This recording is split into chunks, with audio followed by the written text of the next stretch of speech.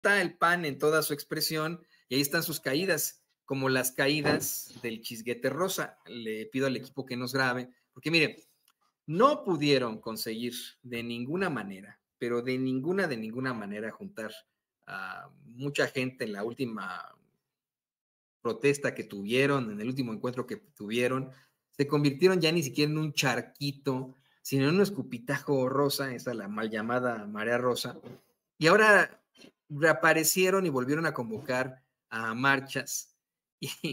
Y, esto, mire, lo llevan los medios de comunicación corporativos, pero hasta con bombo y platillo.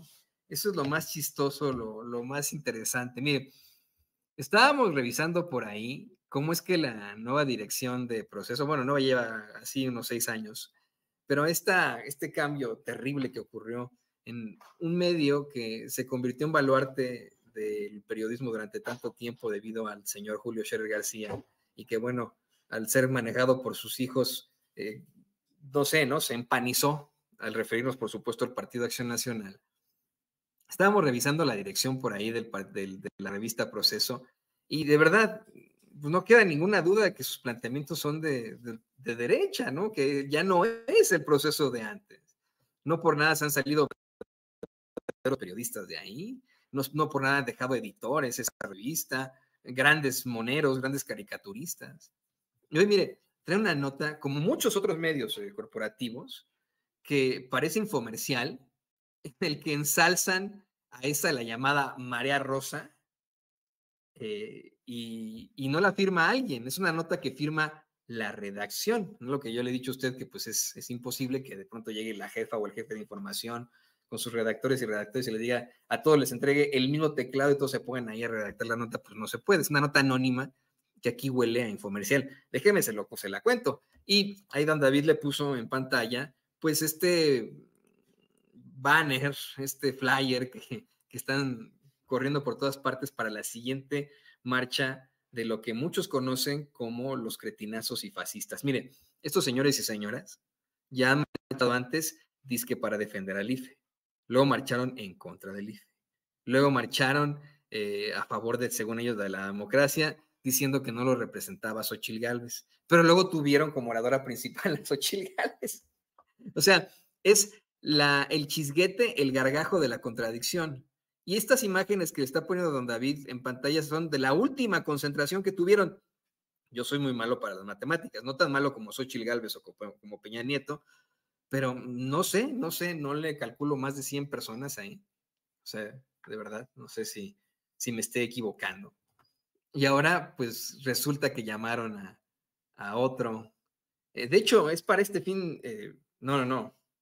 Eh, lo lanzaron desde este fin de semana para que sea el 8 de septiembre. Mira, esta es, esta es la nota de la empanizada revista Proceso, que no firma alguien.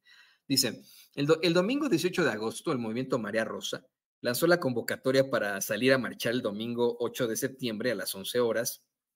El punto de partida será el Ángel de la Independencia en el Paseo de la Reforma y caminarán al Senado de la República. ¿Por qué le estoy leyendo esta, esta nota de proceso y se la está compartiendo muy bien don David el Grande? Porque esta nota va completamente en contra de los cánones, de las reglas de eh, redacción en el periodismo pues convencional. Mire, en el periodismo convencional, una nota periodística se escribe bajo el principio de la pirámide invertida. Bueno, si quiere, don David, aquí. Si tenemos en lo que es la escritura una pirámide en el que se, eh, eh, se empieza, pues desde un, para un libro, por ejemplo, en la pirámide, se empieza pues eh, creando el ambiente y etcétera, y se termina con un, vale la redundancia, un gran final. En el periodismo es la pirámide invertida, ¿no? Y en, la en el primer párrafo se tiene que especificar en máximo seis líneas toda la nota, toda la información de la nota, el qué, cómo, cuándo, dónde, por qué, para qué, qué todo eso, uno tiene que tener la suficiente eh, fuerza mental, eh, capacidad, inteligencia, para redactar en el primer párrafo lo más importante de la nota. Y esto no es lo más importante, esto que viene en el primer párrafo es un infomercial. Es decir, a los lectores de proceso, oiga, si usted es facho, si usted es cretinazo y fascista y apoya a estos cuates que son cretinazos y fascistas, pues súmese a nuestra marcha, porque fíjese desde el principio, ¿no?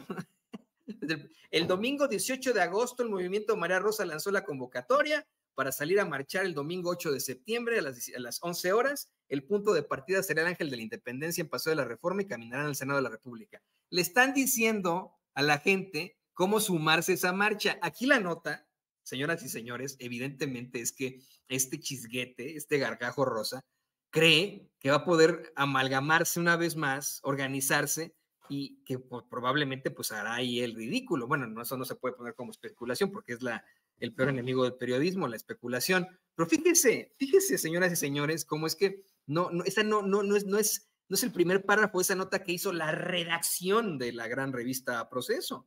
No, es explicarle a la gente cómo va a estar esa marcha chafa, cuándo es, eh, de dónde sale, a dónde va, ¿no? Y hasta ponen pues eh, la cita de, de, estos personajes. Dice, México te necesita, la lucha por la democracia continúa, porque la libertad sigue, sigue, bajo amenaza. Este 8 de septiembre a las 11 horas, acompáñanos a marchar del Ángel de la Independencia al Senado de la República para mostrar nuestro respaldo y exigencia a los legisladores de oposición, PAN, PRI, Movimiento Ciudadano, para que voten a favor de la democracia y en contra de la, del autoritarismo. De verdad, a mí me gustaría muchísimo que los hijos de Julio Scherer García, si se dedicaron a esto, pues lo concientizaran más, ¿no? Mire, María Scherer está casada con el hermano de, uno de los hermanos de Margarita Zavala. Y de verdad yo no, no, no sé qué clase de cenas de Navidad tengan en la familia, ¿no? Si pues, María Scherer ahí eh, cuestiona, cuando van a la cena de Navidad, Felipe Calderón y Margarita Zavala, si le cuestiona pues una serie de cosas ahí a Felipe Calderón, no sé, ¿no? Eh, se me hace verdaderamente risible. Pues sí se ve que efectivamente ha habido un cambio inherente en todas las cosas en proceso a como, como tenía la revista alguien como Julio Scherer. ¿no? Su otro hijo, Julio Scherer Ibarra, él es abogado, usted sabe perfectamente que fue en un principio el asesor jurídico de la presidencia, pero después ya no hubo como ciertos roces, ciertos encontronazos, y bueno, pues sigue siendo uno de los de las caras más visibles de ese consejo editorial de proceso. No son solamente María Scherer y Julio Scherer, son varios, ¿no? Pero pues los que tienen, eh, me imagino, no nos imaginamos, ahí está, ¿no? La, ah, la parte predominante en este consejo, pues son ellos. Y vea cómo tienen a la revista. De, e, e, esto, e, esto que le estamos mostrando, de cómo están haciendo un llamado desde proceso a la, a la, a la marcha de la marea rosa. Yo, miren, esto no quiero sonar ofensivo, pero de verdad que a uno como periodista que estudió periodismo, que ha estado en los medios durante un largo tiempo, le, le hace pensar a uno que don Julio Scherer debe estarse revolcando en su tumba. Imagínese esa revista que él fundó para oponerse al poder mediático, a la política, que fundó desde la independencia. Ahora desde esa revista están haciendo un llamado a una marcha de fascistas de racistas, de clasistas, de la ultraderecha. Qué pena, ¿eh?